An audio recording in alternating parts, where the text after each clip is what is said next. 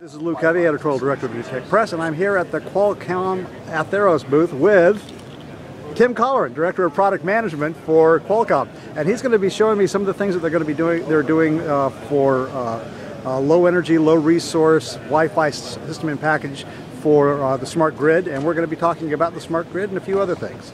Okay, so Tim, uh, what is this that you're going to be showing us here? Well, I'm going to talk today about the 4100P. It's a, a new system and package we've just released uh, this week.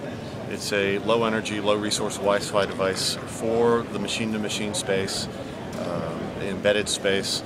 It's generally for lower, lower data rate applications, uh, kind of two to five megabit range. Uh, it can run off batteries as, as shown here.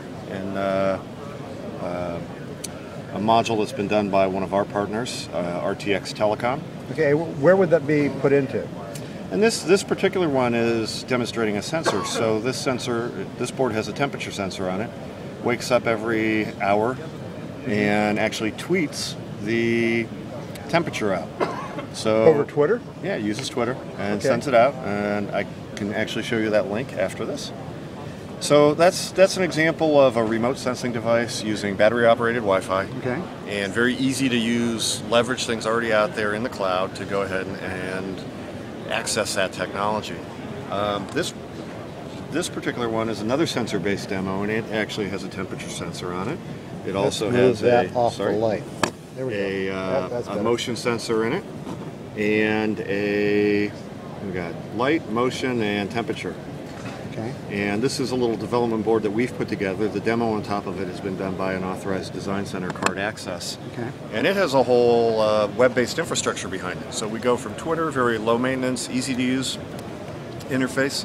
This one has a whole uh, web-based infrastructure so you can go up, look at the temperature, record the data over time, and have it in a, a, very easy to use and dissect format. And in fact, I think Ed has it on the screen over here.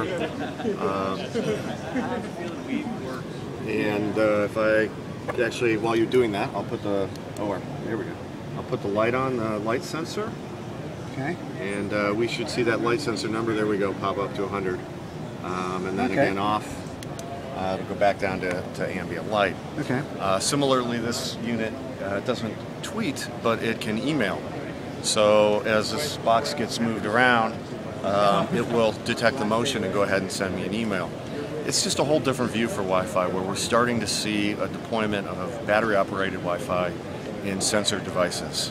Okay. Uh, the 4100P device that we're talking about uh, has a complete Wi-Fi offload. Mm -hmm. So the all the security, WPA, WEP, WPA2, um, and WPS as well. It also has an IP stack offload, IPv4, IPv6 stack, stack offload. So all of that comes off the microcontroller and down onto our system and package. So at the end of the day, you can you can end up putting more things on your microcontroller or using a smaller, less expensive microcontroller. Excellent. So ease of use, small resource systems, and low energy, and that's really what it's all about. Okay, so what are we looking at here?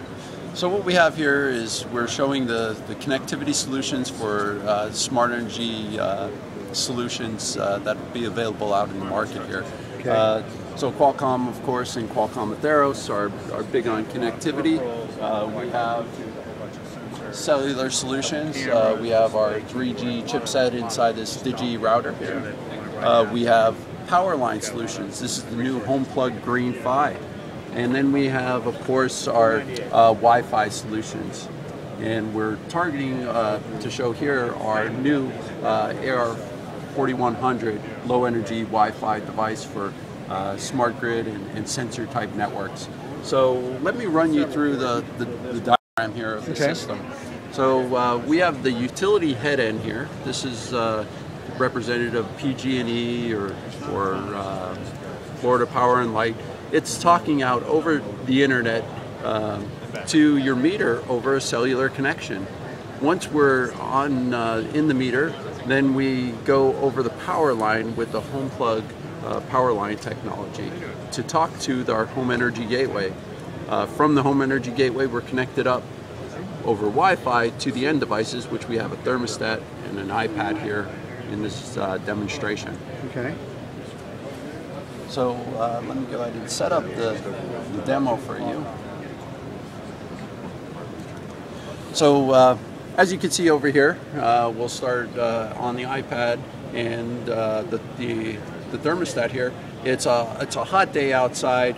We have our thermostat cranking at 68 degrees, 100% duty cycle, consuming a lot of energy. So the utilities see a, a large demand on their system and they want to reduce that demand.